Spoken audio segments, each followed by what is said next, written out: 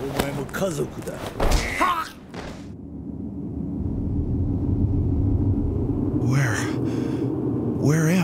We'll get to that. I've watched the Resident Evil franchise change a lot over the years. I've watched the Resident Evil movies, I've read the Resident Evil Nemesis book, and I've played a lot of the Resident Evil games. Never completed one though. Besides Revelations 2, I got a weird history with the series. But that's gonna change in this video. We're going back to the Resident Evil that saved the series as we know it, and we're gonna see what it takes to get through the House of Horrors. Man,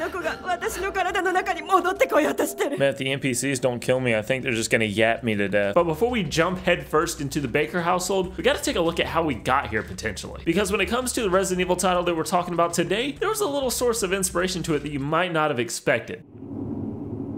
Who is this? Resident Evil has been knocking it out of the park recently, but there were some growing pains in the process of getting here. The Resident Evil series was going through what you can consider a little bit of an identity crisis in the late 2000s, and it's actually not too hard to see why. The classic Resident Evil titles were known to be a bit slower paced and focused more on puzzle elements and strategies that challenged the player's choices. But when 2005 rolled around with the release of Resident Evil 4, things got shaken up a little bit. I knew you'd be fine if you landed on your butt. Fixed camera angles and pre-rendered backgrounds, those are a thing of the past now. Now we had the ability to see the zombies from a third person perspective and we could do it with tighter controls and accurate combat. These elements naturally allowed Capcom to turn up the intensity a notch which was well received by its audience making it potentially one of the most well received titles in the franchise. So how could you possibly follow up on a game that felt so fresh and engaging?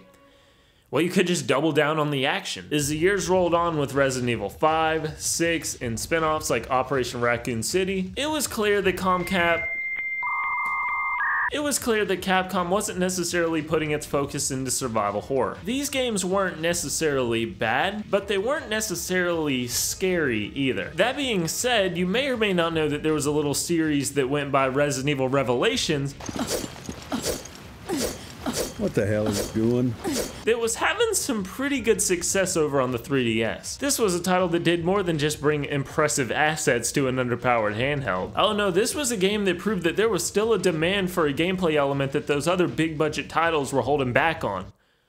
Wetsuits, but also survival horror. Capcom needed to figure out how they could embrace the new gameplay advantages that modern technology offered while still making them a little spooky and stressful. As one of the biggest players in the horror game genre, you might think that Capcom would have had a hard time coming up with these ideas. But as it turns out, sometimes you can find inspiration in the unlikeliest of places. When you think of classic survival horror, all the way back on the original PlayStation, the last thing you probably think of is a first person shooter. So I found a first person shooter called Resident Evil Survivor. Why the hell does Resident Evil Survivor exist? Why am I just now playing it and what does it even have to do with this video? Well, I'm gonna explain it to you. Well, as it turns out, Resident Evil Survivor might just be the first example of a first person shooter Resident Evil. Yeah, it even predates Resident Evil Gaiden. That being said, there seems to be zero information on why this game was conceptualized at all. Capcom outsourced Resident Evil Survivor's development to Tosei Software as a light gun game for the PlayStation, unless you live in North America where the light gun version was removed entirely. Because we were still blaming video games for everything wrong with the world around this time. Are we still doing that? Um, I'm not sure. This game flew under my radar for years, as I'm sure it did a lot of other people because it wasn't the most well received entry in the Resident Evil franchise, but a unique one nonetheless. And since it's the first first person shooter Resident Evil, I had to check it out. Booting it up today genuinely surprised me. You do have a storyline here following an unknown character trying to regain his memory. I don't remember anything.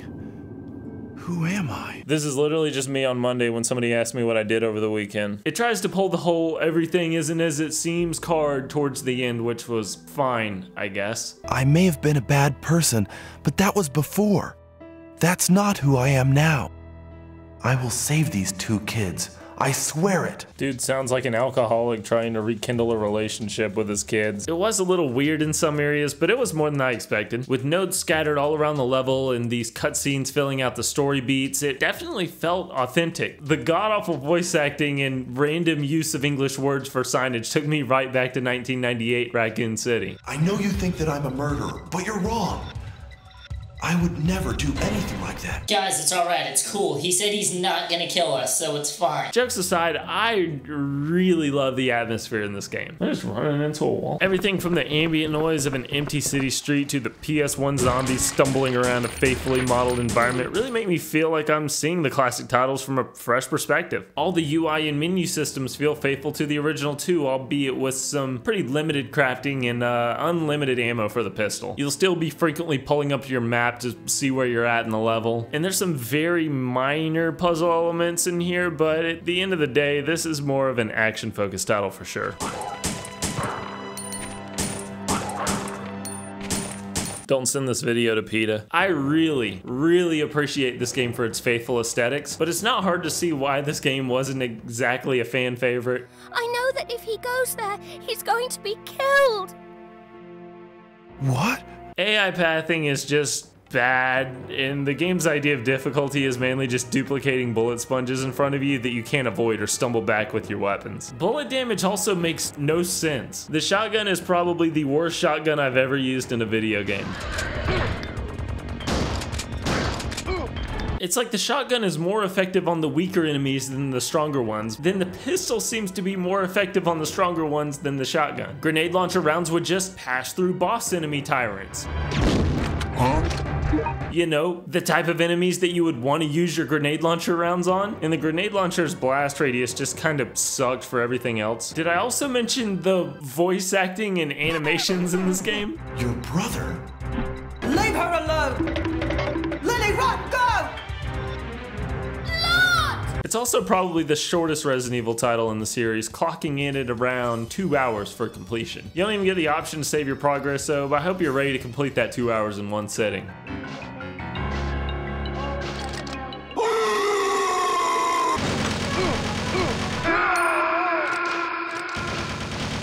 That's if you can even complete it, because I was one death away from losing everything in the final boss battle of this game, because you get a certain amount of retries throughout the game, but once you're out of them, you gotta restart the entire game. So once the final boss had me at a one-hit kill, I just turned on cheats. And even after that final boss working my health all the way down to zero, and after I used all of my special ammo against him, a ton of pistol ammo against him, this is how much ammo I still had to go before I took him down.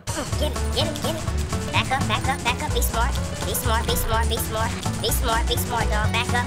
Be smart. There you go. Protect yourself. Or you using them little tricks that you didn't tell me about now, huh?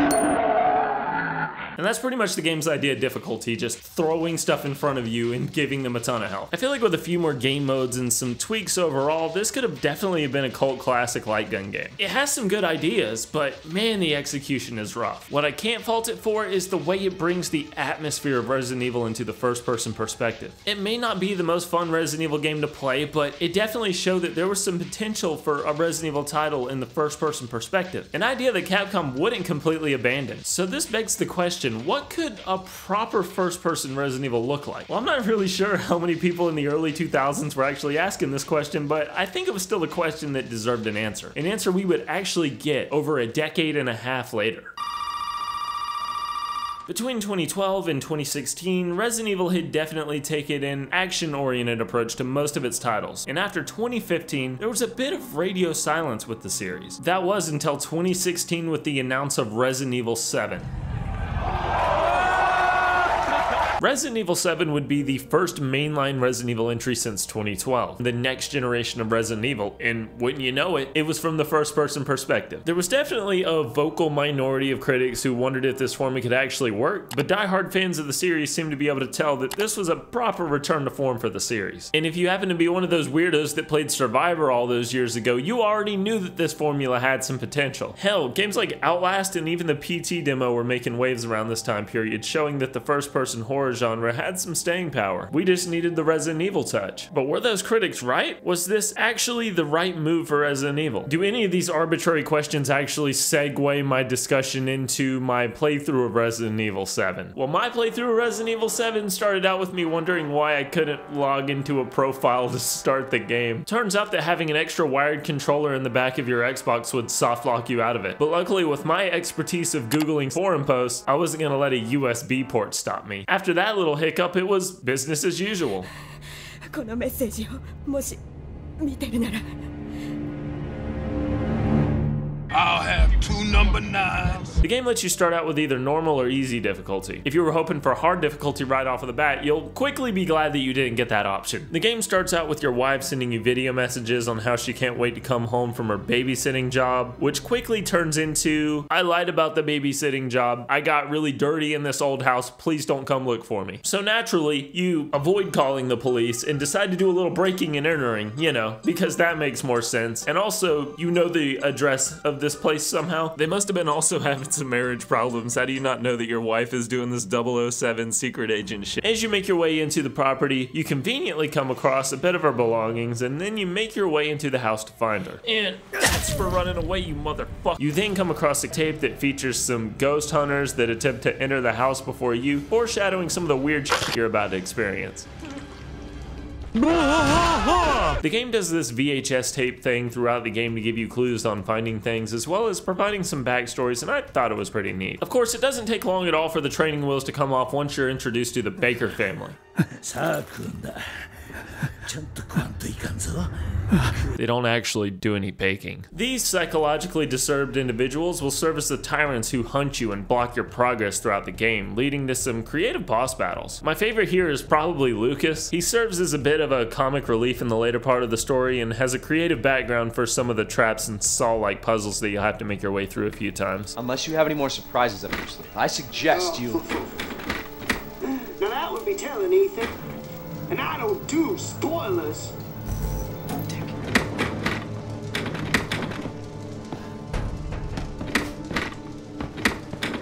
He's also probably one of the more mentally disturbed family members, which you'll learn later as the story unfolds. But that won't be until you survive an onslaught of psychological terror brought by Jack, Margaret, and even your wife Mia, who isn't opposed to putting a chainsaw through you.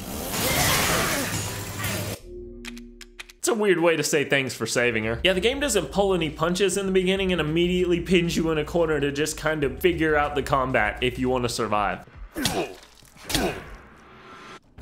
Blocking incoming attacks and conserving your ammo is paramount to winning encounters because you only have so much health and you only have so much ammo to deal with the family. You also have to deal with these bullet sponges called the Molded, which look a little bit like the ooze from Revelations, as well as some annoying ass flying things when you gotta deal with Margaret. But while there is this new focus on first person combat, that doesn't mean that there aren't puzzles to solve here. In classic Resident Evil fashion, whether it's finding a key to open up a weak wooden door that you probably could honestly kick right open, a dummy shotgun to put in place of a real shotgun, or finding There'll be a few roadblocks to solve on your journey, no matter how silly they are. I've closed the game. I'd really like to make it out of this room alive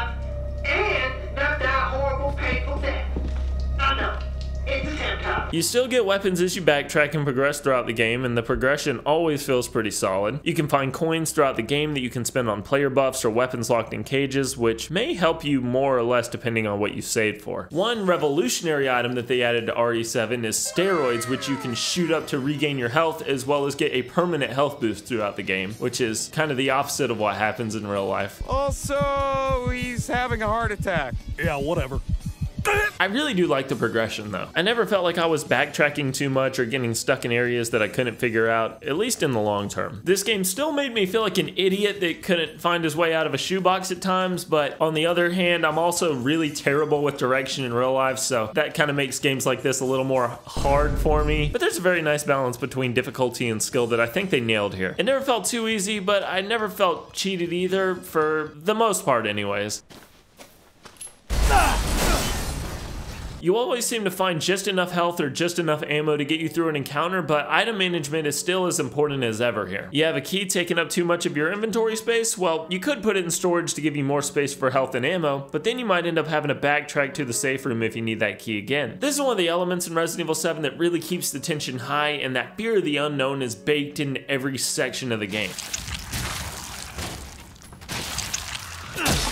They know exactly how long to make you climb a ladder until you start thinking, man, is there a little spooky guy waiting up there to grab me? This pacing is what really keeps things tense, and the rest of the elements are just the glue that bring it all together. Capcom knows why you're here, either for an adrenaline rush or to test your heart rate, which is achieved by the incredible world building and sound design crammed into the RE engine. You almost never go through the same area without being on full alert. Background music and ambient noises dynamically change as you progress, making sure that you never get too comfortable.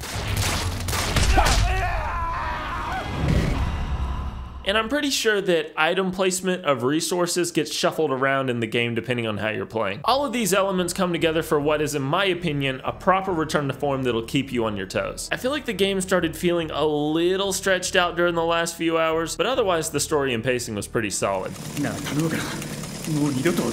My first playthrough was about 10 hours, but you gotta keep in mind that this isn't typically a one and done deal. You unlock the Madhouse difficulty and a new weapon for beating the game, which just incentivizes you to keep playing. There's also free DLC that takes place right after the ending of the first game that you can jump into, as well as some paid DLC that'll definitely stretch your mileage further, but otherwise you can beat the game in a few sittings. This isn't gonna be some massive, expansive 30 hour story, but you're also likely not gonna get every single collectible and weapon in one playthrough playthrough.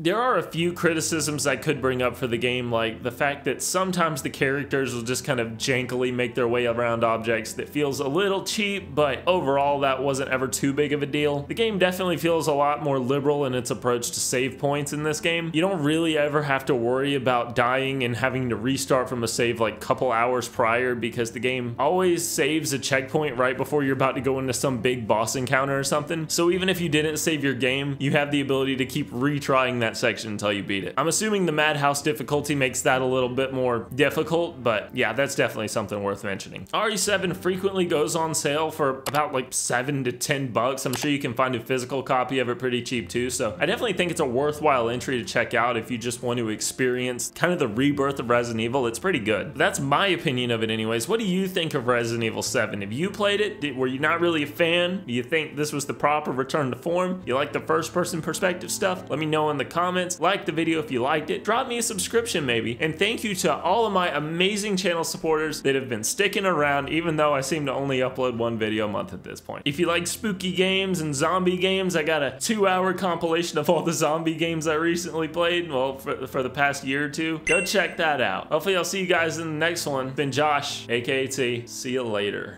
I didn't even think to make sure this was still recording. It is. Bam, Jack. Damn, Jack, you whipping that thing, ah. man. Damn. Can I